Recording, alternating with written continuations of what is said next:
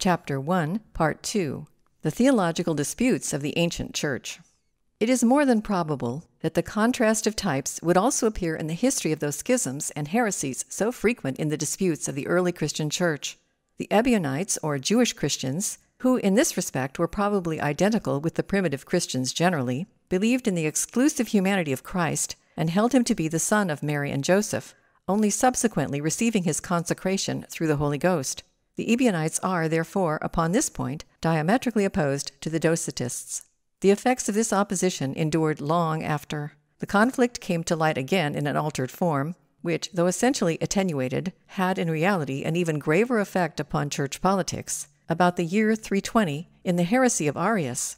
Arius denied the formula propounded by the Orthodox Church, to patre homoousios, that is, like unto the Father.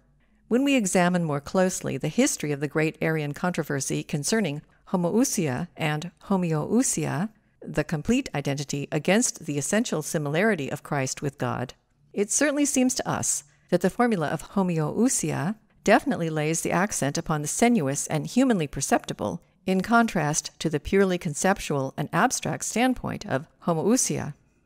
In the same way, it would appear to us as though the revolt of the Monophysites, who upheld the absolute oneness of the nature of Christ, against the diophysitic formula of the Council of Chalcedon, which upheld the inseparable duality of Christ, namely his human and divine nature fashioned in one body, once more asserted the standpoint of the abstract and unimaginable as opposed to the sensuous and natural viewpoint of the diophysistic formula. At the same time, the fact becomes overwhelmingly clear to us that, alike in the Arian movement as in the Monophysite dispute, the subtle dogmatic question, though indeed the main issue for those minds where it originally came to light, had no hold upon the vast majority who took part in the quarrel of dogmas. So subtle a question had even at that time no motive force with the mass, stirred as it was by problems and claims of political power that had nothing to do with differences of theological opinion. If the difference of types had any significance at all here, it was merely because it provided catchwords that gave a flattering label to the crude instincts of the mass. But in no way should this blind one to the fact that, for those who had kindled the quarrel, homoousia and homoiousia were a very serious matter, for concealed therein, both historically and psychologically, lay the Ebionitic creed of a purely human Christ with only a relative, that is, apparent, divinity and the Docetist creed of a purely divine Christ with only apparent corporeality. And beneath this level again lies the great psychological schism. The one position holds that supreme value and importance lie in the sensuously perceptible, where the subject, though indeed not always human and personal, is nevertheless always a projected human sensation, while the other maintains that the chief value lies in the abstract and extra human, of which the subject is the function, in other words, in the objective process of nature that runs its course determined by impersonal law, beyond human sensation, of which it is the actual foundation.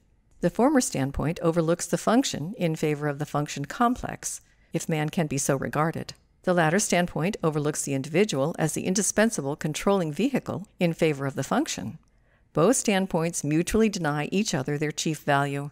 The more resolutely the representatives of either standpoint identify themselves with their own point of view, the more do they mutually strive, with the best of intentions perhaps, to obtrude their own standpoint and thereby violate the other's chief value. Another aspect of the type antithesis appears on the scene in the Pelagian controversy in the beginning of the fifth century. The experience so profoundly sensed by Tertullian that man cannot avoid sin even after baptism grew with St. Augustine, who in many respects is not unlike Tertullian, into that thoroughly characteristic pessimistical doctrine of original sin, whose essence consists in the concupiscentia inherited from Adam. Over against the fact of original sin, there stood, according to St. Augustine, the redeeming grace of God, with the institution of the Church ordained by His grace to administer the means of salvation.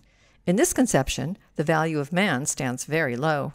He is really nothing but a miserable, rejected creature who is delivered over to the devil under all circumstances, unless through the medium of the church, the sole means of salvation, he is made a participator of the divine grace. Therewith, to a greater or less degree, not only man's value, but also his moral freedom and self government crumbled away. As a result, the value and importance of the church as an idea was so much the more enhanced, corresponding to the expressed program in the Augustinian Civitas Dei. Against such a stifling conception, springing ever anew, rises the feeling of the freedom and moral value of man. It is a feeling that will not long endure suppression, whether by inspection, however searching, or logic, however keen. The justice of the feeling of human value found its advocates in Pelagius, a monk, and Celestius, his pupil. Their teaching was grounded upon the moral freedom of man as a given fact. It is significant of the psychological kinship existing between the Pelagian standpoint and the Diophysistic view that the persecuted Pelagians found asylum with Nestorius, the metropolitan of Constantinople. Nestorius emphasized the separation of the two natures of Christ, in contrast to the Cyrillian doctrine of the physike henosis, the physical oneness of Christ as God man. Also, Nestorius definitely did not wish Mary to be understood as the Theotokos, that is, Mother of God, but only as Christotokos, that is, Mother of Christ. With some justification, he even called the idea that Mary was Mother of God heathenish. From him originated the Nestorian controversy, which finally ended with the secession of the Nestorian Church. End of section 4. Recording by Owlivia.